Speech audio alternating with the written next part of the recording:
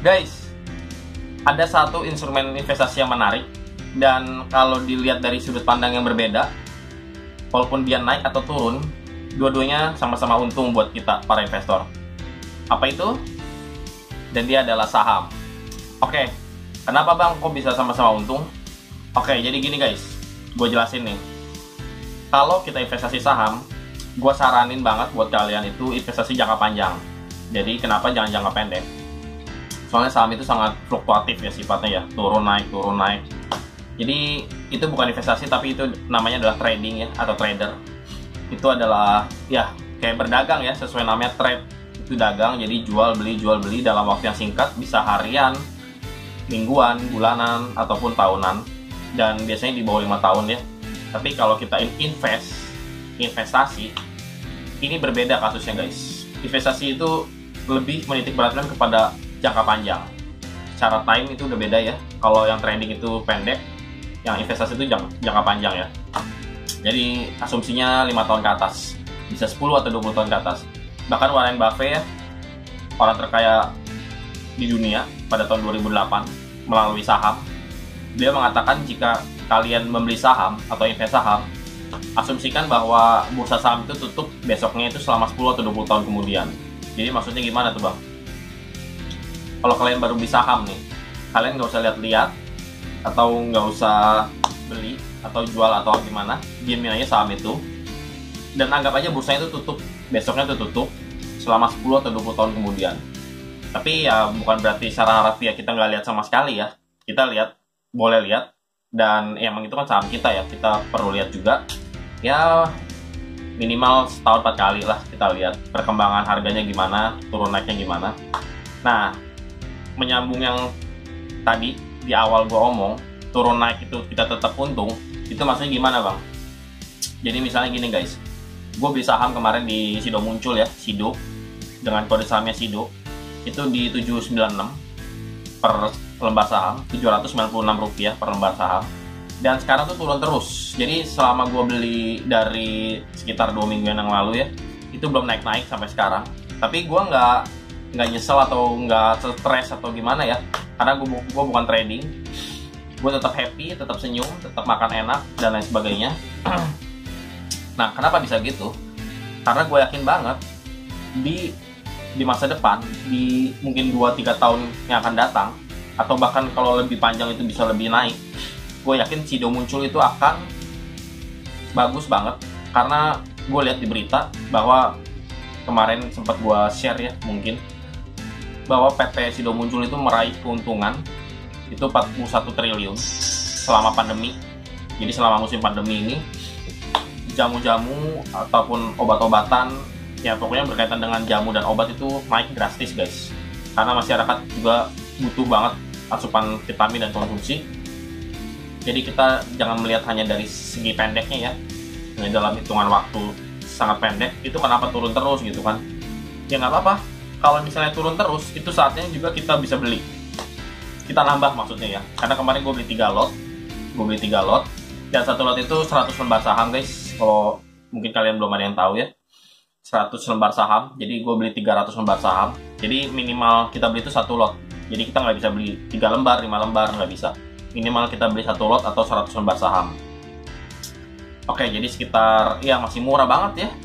Sekitar 200 ribuan tiga lot itu. Oke. Dan ya.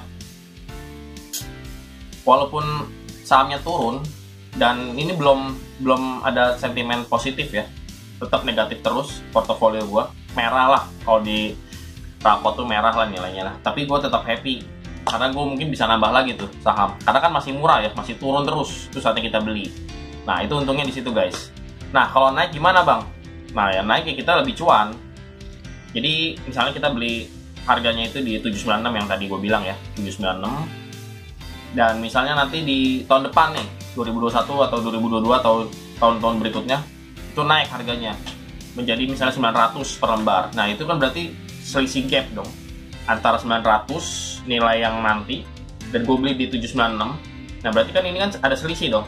Gue belinya di 796 nih, sedangkan uh, mungkin nanti harganya 900. Nah ini keuntungan gue di sini guys. 796 ke 900 itu namanya adalah uh, positive gap ya atau gain. Jadi kalau kita bisa jual itu kita dapat capital gain. Nah itu dia. Jadi turun ataupun naik itu sama-sama untung ya. Itu khusus buat investasi atau investor. Jadi kita nggak bisa ngomongin trading di sini ya, karena invest itu yang tadi gue bilang minimal lima tahun ke atas. Oke, okay, um, oh ya, selain kita dapat capital gain yang tadi gue bilang, kita beli di harga murah, jual di harga tinggi, kita juga bisa dapat dividen guys. Jadi itulah keuntungan lagi untuk kita investasi saham. Dividen itu apa bang? Jadi dividen itu adalah kegiatan perusahaan emiten atau perusahaan yang kita invest untuk bagi-bagi hasil labanya ya. Jadi tergantung juga nih, tiap perusahaan beda-beda guys. Ada yang setahun dua kali, ada yang setahun sekali, atau bahkan mungkin mereka belum membagikan dividen. Itu ada alasannya. Bisa jadi karena untuk ekspansi atau untuk menambah modal usaha. Dan itu is okay sih. Karena nanti kan akan dirumuskan dalam RWP, RWPS, Rapat Umum Pemegang Saham. Jadi kita nih para investor nih yang misalnya anda hanya beli satu lot misalnya, satu lot di BCA ya. BCA sekarang udah tinggi banget harganya udah 3 jutaan ya satu lotnya. Anda beli satu lot aja itu Anda bisa diundang, kalian bisa diundang ke rapat umum pemegang saham ya, mungkin di tadi hotel atau di mana pun lah, di convention hall mungkin kalian bisa ikut rapat pemegang sahamnya. Walaupun mungkin hanya beli satu lot, mungkin kalian hanya beli modal 80 ribu, 100 ribu itu sudah bisa banget kalian beli saham. Hanya modal di bawah 100 ribu itu kalian bisa beli banget.